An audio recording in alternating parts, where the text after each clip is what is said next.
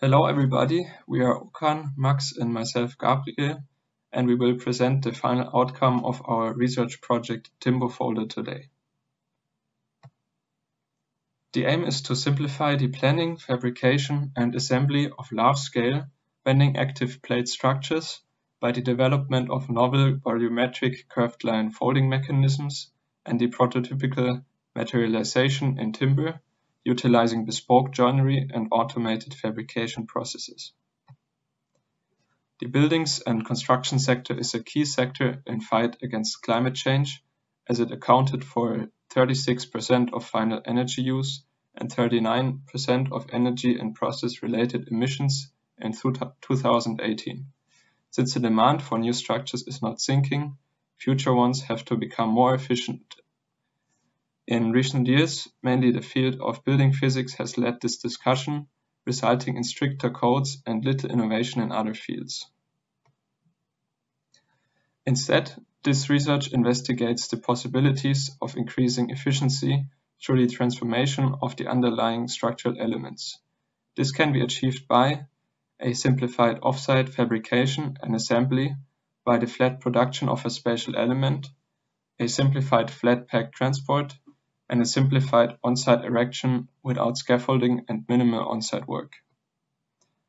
This is especially relevant for sites in urban areas sensitive to noise and pollution.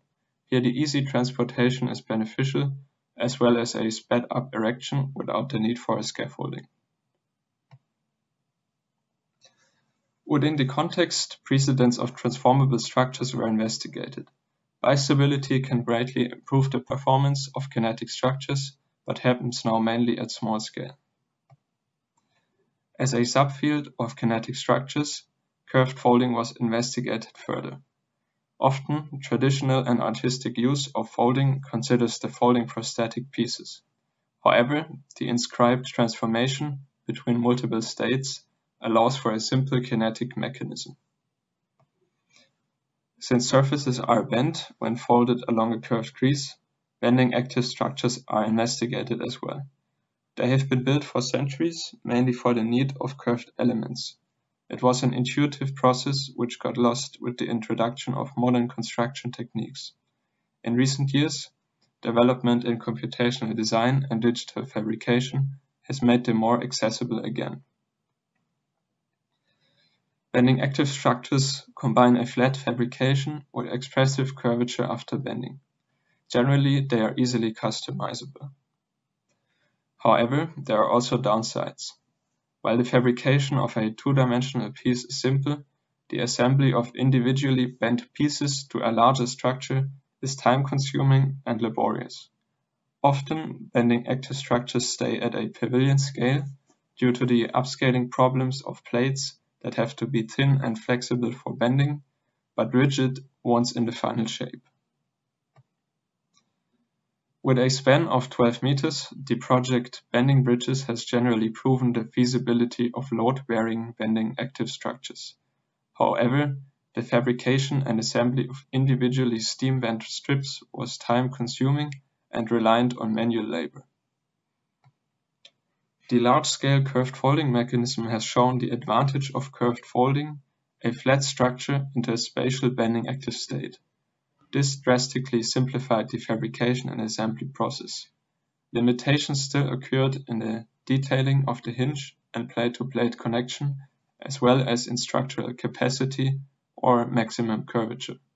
Also, there were relatively many creases and individual plates needed.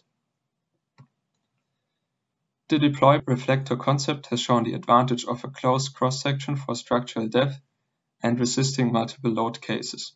Also, the flat transportation and true-to-form shape transformation for an integrated structure and functionality are beneficial. Still, the final shape of the structure was not defined by the mechanism and had to be secured separately. Multiple aspects were extracted from the state-of-the-art projects. A transformable structural element can combine the benefits of two states. The bending from a flat piece creates curvature and customizability. Curved folding simplifies the fabrication and assembly of bending active structures and guides the bending behavior. a closed cross-section can increase structural efficiency. The main contributions to this research in this field are a design framework for volumetric curved folded beams and the study of typologies, the introduction of bistability to guide the folding motion and lock the final shape, and detail development in regards to upscaling, including a curved hinge, layering, and a longitudinal plate connection. The detailing of multiple component joining is not within the scope. The research project is split into two main fields, the kinematic and kinetic study of the mechanism. Within the kinematic section, geometrical rules of curve folding, component typologies, and the general design space are studied. The kinetic section is focused on the materialization of the kinematic base model, including the development of detailing, a structural analysis, and the evaluation of bistability. Further, a separation is made into models that are static or transforming. For each of the sections, models were created serving the needs of the kinematic or kinetic developments. One key aspect of the research is a large-scale build proof of concept demonstrator. Aspects related to fabrication and planning were investigated, the complexity in the construction process is shifted from the fabrication and on-site work towards computational planning and prefabrication. Therefore, the fabrication process is embedded into existing infrastructure. Within planning, a global model is created, informed by details and the assembly and erection process. Details were tested both in physical and FEA models. The component design is based on several geometric relationships, which have to be fulfilled in order to model a spatial curved line foldable figure. Three basic rules can be identified. First, as with linear folds, the modeled fold curve must be planar at all times. Second, the surfaces adjacent to the crease must be developable and therefore have linear rulings perpendicular to the fold curve. Furthermore, the rulings must be mirrored on the folding plane. To be torsion-free, the folding angle must also remain constant along the entire curve, so that the cross-sections are similar in every point. From the modeled figures, characteristic values about the geometric deformation can be derived, which influence a later choice of material.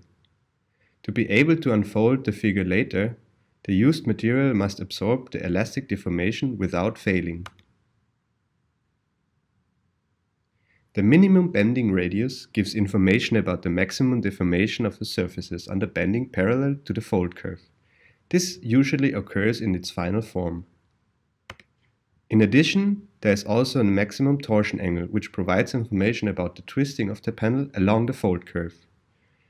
This type of deformation usually occurs as a result of constraint on volumetric bodies during the folding process. After a design framework for volumetric curved line folded bodies has been defined, it's important to simulate the folding process and observe whether a smooth transformation is possible.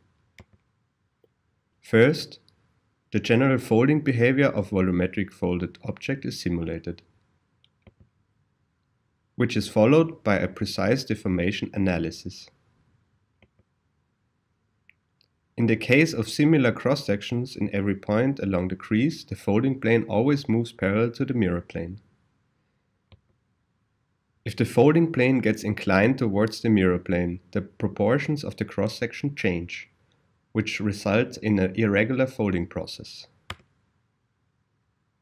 Next follows the deformation analysis. The analysis of the transformation process shows when folding figures with similar cross-sections, bending is built up in a linear manner and not opposed to any torsion. For figures with an inclined folding plane, it becomes visible that the surfaces are twisted while the folding plane is inclined. As soon as the folding plane has reached its final angle, surfaces untwist by further folding and bending. The geometric design framework and the deformation limitation make it possible to define a design space.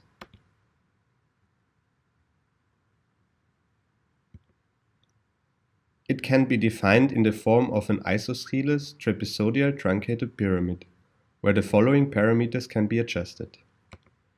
In addition to the basic dimensions such as height, length, and width, the folding angle and the inclination of the folding plane can also be defined. Furthermore, curves with a different curvature can be used for further increasing the design flexibility.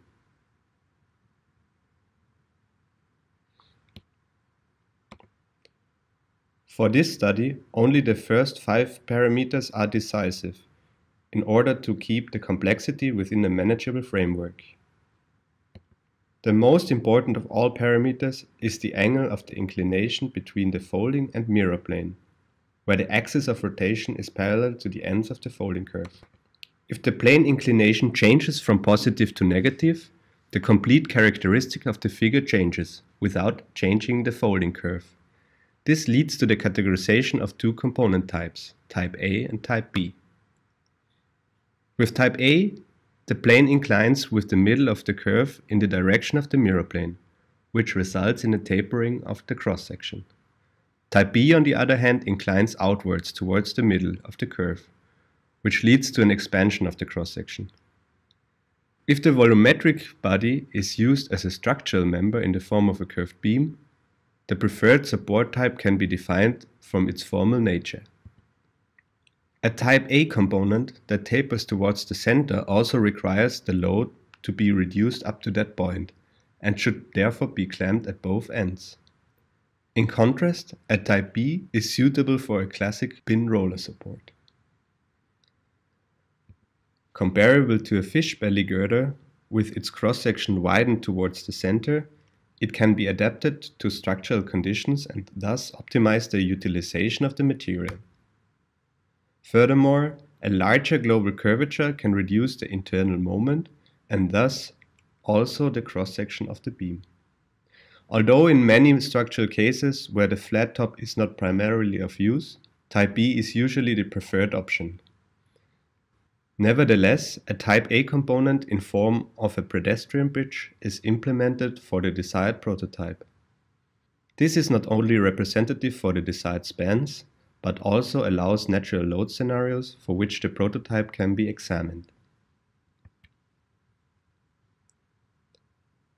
For type A, the ends to be clamped can be adapted to their connection conditions in order to avoid complex anchoring structures. For this purpose, the folding curves can be extended linearly, which in return reduces load peaks at the hinge ends. With that in mind, I hand over to Okan, who will inform you about the development on the kinetic side. We divided kinetic part into two sections, detail development and analysis. In the detail development section, the first one is the curved hinge detail. Hinge needs to meet three main tasks. It should allow 360 degree operation angle, bendable hinge axis and eliminate delamination when the crease is bent. Therefore, a continuous alternating strip system was developed. Material requirements for the hinge are low elongation and high tensile strength. Plate-to-plate -plate connection is required when available plate or machine size don't fulfill the design intents. Its main task is to retain the continuity of the curvature and the force transfer. That's why a step finger joint is selected and the fingers are placed where the tension due to bending occurs on the plate. Lastly, a sandwich system was developed to overcome the contradiction of bending capability of thick thick material, and structural capacity of thin plates. This detail is also an optional one if the design requirements needs both an expressive curvature and high structural capacity. The detail is developed to allow top plate to slide on the bottom one when it's actuated by having elongated holes. Several iterations were made for all individual details. Here a short summary of all these iterations can be seen. For hinge, different materials and connection types were investigated. For sandwich, elongated holes was main issue, and for the plate-to-plate, -plate, three geometric iterations were done to compare fabrication effort and curvature capacity. Second aspect of the kinetic development is the analysis part. For the individual detail developments, we made use of finite element modeling and some test setup for, to make final decisions. Hinge details is simplified to springs to be used in global analysis, and the load distribution along the creases are achieved. While the axial tensile forces are primary in the hinge springs, out-of-plane shear also occurs, that's why cross stripes would help to take both forces. Also the force increase towards the edges of the component, which can be considered to make a placement accordingly if the non-continuous belts were used. For plate-to-plate -plate connection, several iterations of connection types were designed and tested. The main criteria is to achieve desired minimal radius of curvature with the connection solution while keeping the manufacturing effort low. A four-point bending test setup was built and the radius of curvature capacity was measured and calculated from the displacement un until failure. Sandwich system investigated on finite element modeling to make final decisions. Under the load, there is no bending moment in individual layered panes like in the global behavior. So the top and bottom plates works together either ten tension or compression. Therefore, increasing the spacing between two plates doesn't help structurally. But the distance between the wedges need to be controlled for local buckling. For that, buckle analysis on global geometry was done, and maximum of 50 cm distance was found for wedge distances. All individual design studies are implemented on global geometry, and form finding is done in finite element modeling to match the geometrical and physical folding analysis results. With the form finding, the structure is analyzed and compared for different parameters. Regarding the final shape of the demonstrator, the main parameters were compared, global curvature and cross-section depth. With the given structural typology, the combination of higher global curvature and the higher cross-section depth uses the material in a more efficient way. More curvature makes the top plates work better, and high cross-section depth utilizes bottom plates better. According to the comparison analysis, the, the demonstrator geometry was dimensioned with the most achievable curvature and cross-section height by keeping the available material amount in mind. Minimum cross-section height is 28 cm, minimum width is 60 cm. For the global curvature, clear span was set as almost 5.75 meter with the clearance height of almost 1 meter. The final analysis were done for the final geometry to start the production of demonstrator. Maximum displacement under uniformly distributed load is found as 2.4 cm and under wind load as 3.5 cm, which are convenient for 6 meter span. 87% of the capacity were used under given, given loads with the maximum of 27 MPa stress. With the basic knowledge of kinematics and kinetics, the planned prototype can be materialized and final design decisions can be made. In the following section, the plant structure is put together in the order in which it was assembled and the individual details on the materialized models are explained. These include the curved belt hinge, which connects the inner plates along their edges, a plate-to-plate -plate connection to join bendable plates in length, a bending optimized sandwich, and a base that anchors the structure to the ground after the folding process. The flexible sandwich solves the contradiction between structural and bending capacity. While a solid piece of timber with a thickness of 52 mm is rather difficult to bend, the sandwich allows to increase bending capacity by four times without any structural loss. This is made possible by allowing the panels to shift against each other in the bending direction. Therefore, one plate slides on spacers, while guiding pins placed in elongated holes hold the plates together. The sandwich consists of four parts. The guiding pin, the sliding plate with recessed elongated holes, the spacers attached perpendicular to the bending direction, and the fixed base plate to which the hinge belts will be attached later. Each of the individual plates consists of several parts, in order to enable element lengths beyond the standard panel format. In addition, it's also possible to manufacture in smaller plants, which enables broad implementation in the construction industry. The panels, which are over 8 meters long, are assembled from 5 individual parts, no longer than 2.5 meters. To ensure continuous curvature and to reduce stress concentrations, a joint design is required that enables the transmission of bending moments between thin timber plates without any additional elements. The connection consists of several details which have been adapted to local requirements. A dovetail connection on the convex tension side and a straight blade on the concave pressure side. The overlap was dimensioned in such a way that the bending moment is converted in tension by the lever action. The connection was designed for a production on a three-axis milling machine. The reduction in degrees of freedom during fabrication not only allows faster and more efficient production, but also increases precision, which is essential for the type of connection. Although the connection is made with zero tolerance, it's secured with wood screws to prevent unplanned dismantling. Back to the sandwich, which after connecting the individual panels to form long elements is assembled as follows.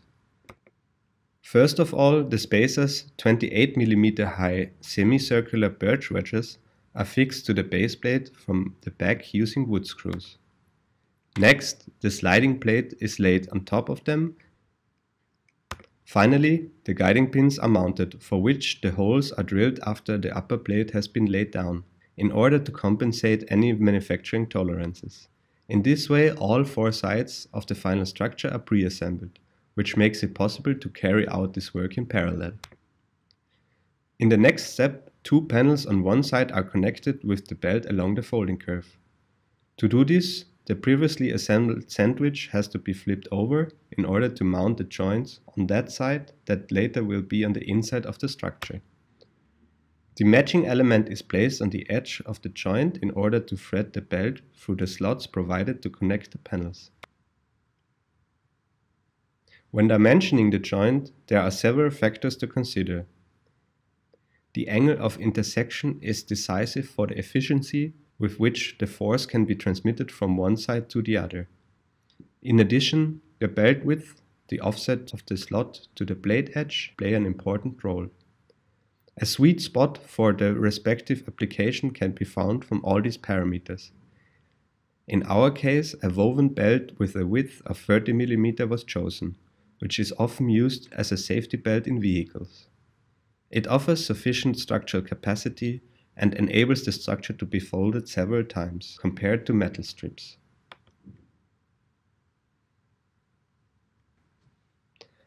After both mirrored halves have been assembled, they are first placed next to each other, and then placed on top of another with the hinge side facing inwards.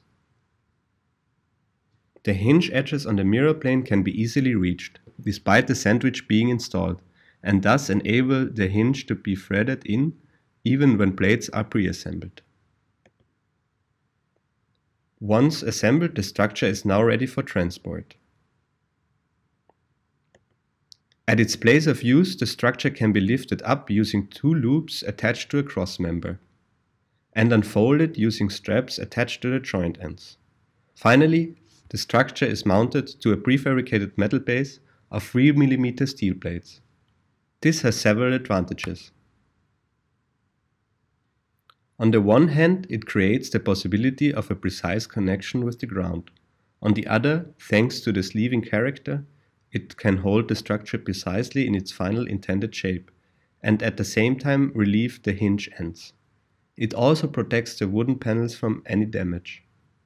First, the base is inserted into the space between the sandwich panels.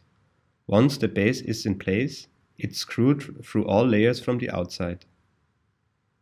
When the base is screwed together, the slidable layers of the sandwich are locked together, which releases the full capacity of the panels. The prototype was implemented within a few days after an intensive planning phase. Despite the pandemic-related circumstances, it's now time to make a conclusion which will be brought to you by Gabriel. For the actuation, the structure was hanged on a crane. It was pushed open by two people at each end. The folding motion happened as expected. First energy had to be invested to open to the state of highest torsion, after which the mechanism snapped into the predefined final state by itself. Due to the inertia of the plates, the snap effect was not dangerously fast. A comparison was made between a photogrammetric model and the 3D model as planned. The deviation on the self-weight from the ideal shape was the highest at the relatively flat and wide open ends. Next, a load test was performed. Twelve people were standing and walking on the beam with a combined weight of around one ton. This means the structure was able to support a load roughly three times of its own weight. On an overlaid image of before and during the load test, it is visible that there was a deformation of roughly 5 cm in the midsection, whereas the ends did not deform. This is partly due to the tensile member between the bases. The functionality of each detail has been demonstrated. Further improvement is needed in terms of tolerances, here mainly deviations at the curved hinge and a not perfectly continuously curved plate-to-plate connection have to be mentioned. However, due to the simplified folding mechanism, these tolerances did not affect the overall foldability greatly. Durability has to be increased, where a replacement of the textile hinge by a metal belt would be worth to investigate. Also, a further simplification by the adaptation to robotic assembly can be beneficial. In comparison to the large-scale curved folding mechanism, default curves were reduced to a total of four, therefore reducing the complexity and potential failure. Bistability was introduced for locking and the details were revised for upscaling possibilities. The developed system could potentially reach spans of up to 20 meters, with around 6 meters, a span half of that of the Bending Bridge was achieved with the recent prototype. Component-to-component joining and arrangements will have to be studied further.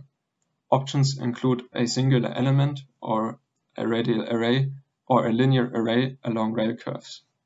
Here, the structural system depends on the subdivision of a beam into type A and B components. Generally, clamped beams or three-hinged arches can be realized with multiple curved components. Many typologies Following freeform surfaces are possible with the curved folded components. Here a significant advantage of the developed system is that customization does not increase manufacturing and assembly effort.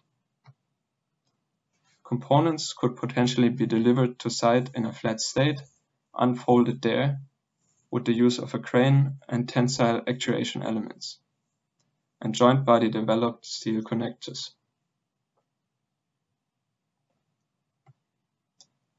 While this research is mainly concerned with detailed development of a single element, the greater picture of a variety of other typologies should come across, which not only include singular linear elements but also arrangements to enclose spaces. We hope that the project indicates the potentials of transformable structural elements in a combination of computational planning with accessible and simplified fabrication techniques this project should outline a way how a novel kinetic structure can find its way into practice from today on. Now we are concluding the final presentation with a cool video of the demonstrator's construction process.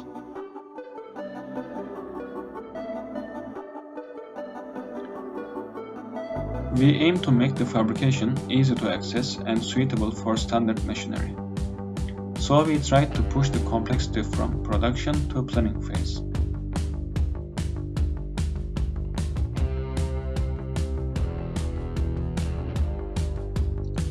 We had a chance to have available timber plates and assembly facility in Turkey. Therefore, we turned the corona crisis into an opportunity and went to Turkey for production. All CNC cutting of 40 individual pieces took 3 days. The post-processing and the assembly was done in 6 days by just 3 of us. During all the process, the motivation and energy were kept high by the amazing Turkish food. In total, 72 meter square plywoods, eh, 88 pieces of sandwich wedges, 90 meter long polyester webbing strap, 75 kg of steel, and countless amount of bolt and fasteners were used.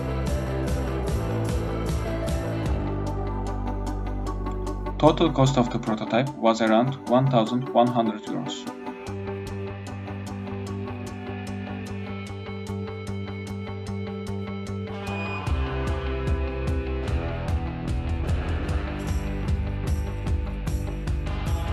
The most exciting moment of the process was the actuation. The folding motion happened within a minute by the help of the snap effect.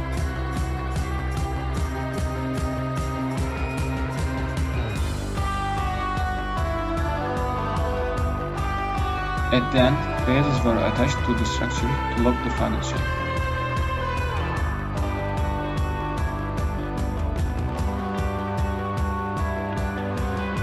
Finally, a load test with 12 people was successfully carried out.